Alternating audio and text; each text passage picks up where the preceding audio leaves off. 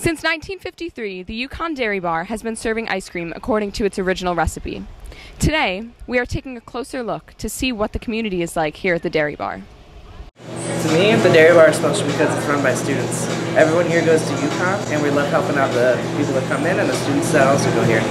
Favorite part is the friendships you make, you know? I've met a lot of good people here over the past couple of years, and it's been exciting working with them and getting to know the new people that come in. The most popular flavor is Husky Tracks. It's a vanilla base with fudge swirl and Reese's cups, and it's pretty good. According to facts posted along the walls of the Dairy Bar, the ice cream is made with milk from their own cows through a slow vat pasteurization process, which gives the ice cream better flavor. I've been coming here for 40 years. It gets better all the time. They don't skimp on the scoops. It's a big deal. It's the best ice cream in the world.